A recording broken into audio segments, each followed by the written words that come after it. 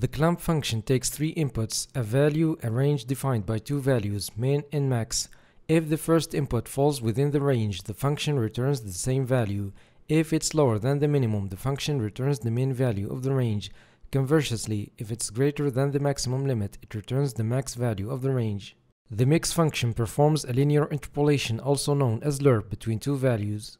With that explanation, I'm going to use these two functions to create a smooth transition effect between two textures on a mesh. The variable mix ratio here represents the alpha value used in the mix function.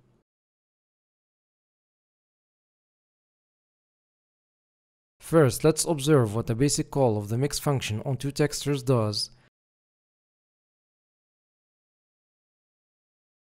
As you can see, when the alpha is 0, we see only the first texture. When it's 1, we see only the second texture. Values in between create a blend of the two textures. Now I'm going to use another texture to shape the transition effect. To do that, I'll employ a little bit of math, including the clamp function we discussed earlier.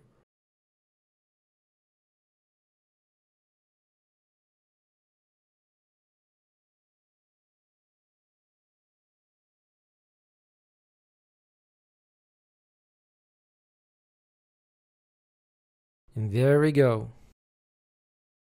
By the way, this technique works with various transition textures. For example, if I use a different one, you'll notice that the transition takes on a different appearance.